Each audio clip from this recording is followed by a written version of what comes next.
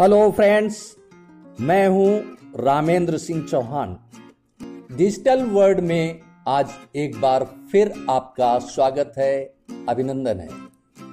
Digital world के amazing world show में आज एक बार फिर आपको दुनिया की एक खास झील के बारे में दिखाएँगे। तो चलिए, आज आपको न्यूजीलैंड की एक ब्यूटीफुल लेक की सैर पर ले चलते हैं। कई खूबियों वाली इस झील को सैम्पेन झील कहते हैं। वैसे देखें तो सौंदर्य की इबारत लिखने में विश्व की जलधाराएँ भी पीछे नहीं है। जी हाँ जल अर्थात पानी का रंग हमेशा श्वेत, सफ़ेद ही पाया गया है। लेकिन प्राकृतिक धरोहरों की श्रृंखलाओं ने इस सच को भी अक्सर झुठलाया है। न्यूजीलैंड की सैम्पेन पुल झील भी कुदरती करिश्मों से लबालब है। इस झील की एक धारा के जल का रंग हमेशा कलरफुल रहता है। इस लेक का कलर हमेशा ऑरेंज रहता है। तो वहीं इसकी जलधारा में हमेशा सैम्पेन की तरह बुलबुला उठता रहता है। शायद इसीलिए इसे सैम्पेन पुल लेक के नाम से जाना जाता है।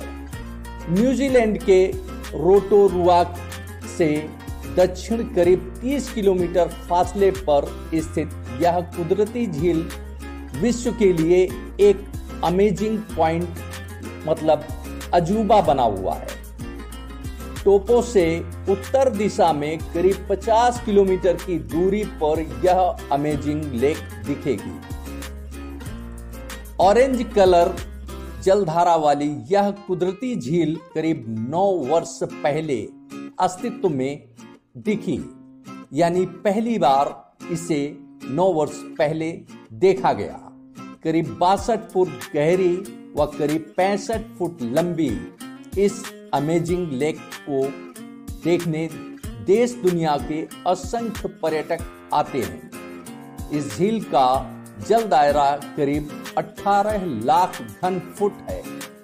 इसकी सतह का जल तापमान करीब चौहत्तर डिग्री सेल्सियस रहता है, जबकि झील का सामान्य जल करीब 260 डिग्री सेल्सियस तक पहुँच जाता है।